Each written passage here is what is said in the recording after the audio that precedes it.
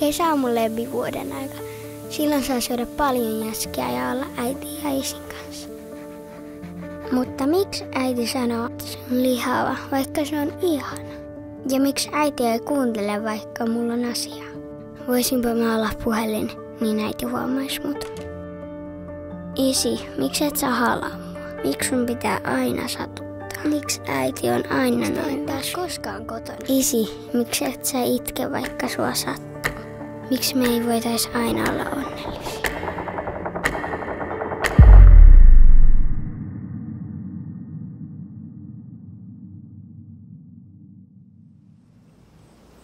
Ihminen on psykofyysis-sosiaalinen kokonaisuus, joka kehittyy läpi ajan ympäristön, kulttuurin, uskonnon ja ympäröivien ihmisten vaikutuksesta.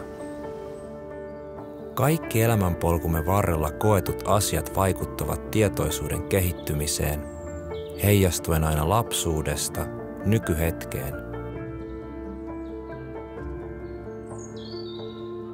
Kehon ja mielen hyvinvoinnin kannalta on oleellista, että näitä haasteita käsitellään siihen tarkoitetussa ympäristössä koulutetun ja kokeneen terapeutin kanssa.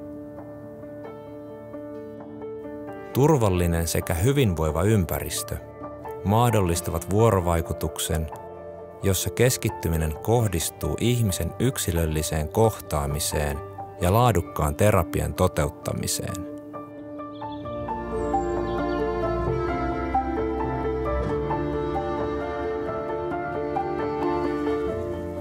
Hengitä vapaasti. Me lupaamme auttaa.